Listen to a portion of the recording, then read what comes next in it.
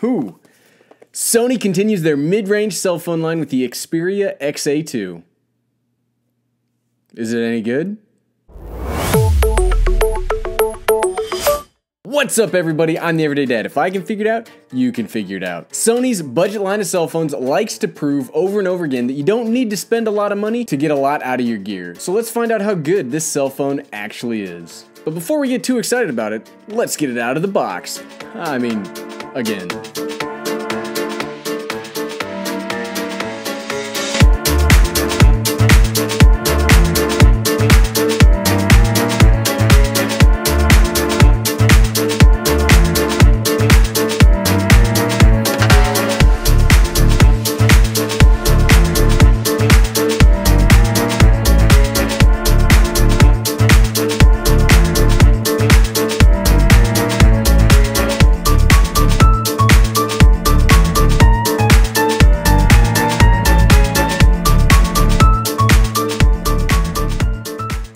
Now I spent $349 on this brand new phone, which in my mind is quite striking for what comes under the hood. The phone itself feels great, and honestly, it does not feel like a budget or mid-range cell phone. Now it doesn't feel as good as the Essential phone, but not much really feels as good as that phone. Before we start putting it through its paces, let's cover some of the ground level specs. The main processor is a Qualcomm Snapdragon 630. It has a 3300 milliamp hour non-removable battery and supports Qualcomm Quick Charge 3. The screen is made of Corning Gorilla Glass and has a 5.2 inch full HD 1080p display. It does have a 32 gigabyte storage capacity, but you can increase that up to 256 gigabytes. The rear camera is a 23 megapixel Exmor Sensor with an 84 degrees wide angle f2.0 lens. It does have steady shot, which is optical image stabilization, and it can record 4K video at 30 frames per second. The front camera is 8 megapixels and has a 120 degree super wide angle of view at f2.4. It has a 1 quarter inch Exmor R mobile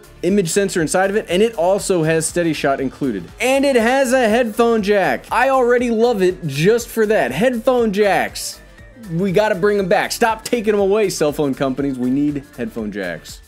It runs Android Oreo 8.0 straight out of the box. For charging purposes, it has a USB Type-C connection on the bottom. And on the back, underneath the main camera, is a fingerprint reader that unlocks the phone pretty darn fast. Now, the main reason I bought this phone was basically to be a gimbal camera for my DJI Osmo Mobile 2 and to be a backup drone controller if something goes on with my iPhone. So let's see how good both cameras are in handheld and with the DJI Osmo Mobile. Whew!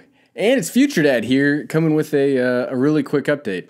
So I spent an hour filming today, and you're not going to get to see any of that filming because I was using my DJI Osmo Mobile 2, and for some reason, every video that I captured with the Osmo Mobile 2 shows that it captured, shows the time frame, what it was recorded in, everything.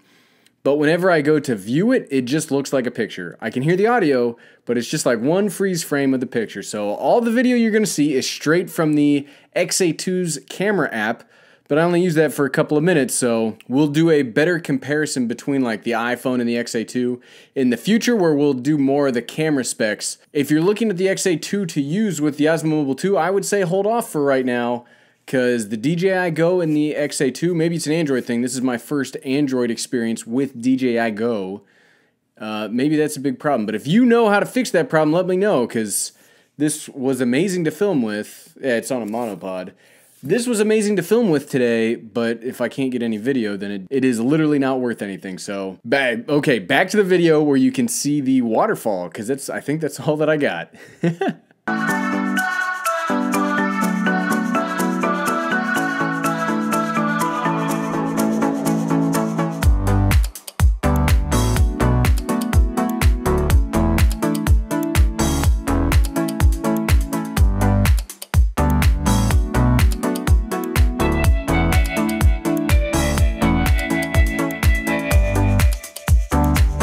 And this is the front facing camera in the audio test from the Sony XA2. Audio test one, two, three, four.